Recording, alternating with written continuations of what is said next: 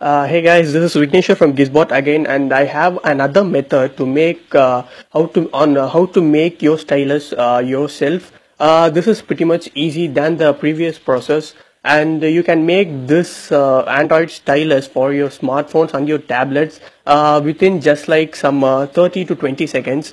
So all you need is a pen, a scissors, if you need, and aluminum foil sheet, and of course the smartphone here. So as we all know, uh, most of the pointed uh, stuff won't work on the smartphone as you can see here. Uh, this nib is not working right now on the Samsung Memo Note. Uh, so in order to make uh, this pen work uh, as an Android stylus, all you can do is to wrap up the foil paper around the pen as you can see. Just like this.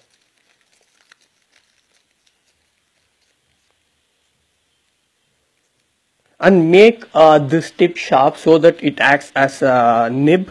And uh, just to make sure this uh, foil paper doesn't come out you can just wrap it uh, with a cellophane tape or rubber band whichever you have. And uh, already I have made one like this. So this is my Android stylus over here uh, with aluminum foil wrapped around this pen so like let's go now and use this stylus on my memo Samsung memo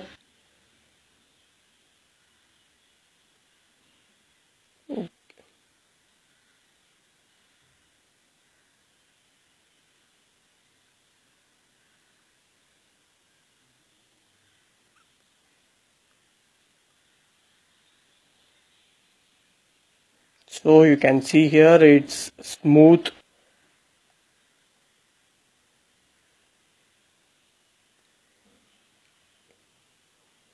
So uh, this is it. Uh, that's how you make the android stylus uh, uh by yourself actually uh, within just 30 to 20 seconds.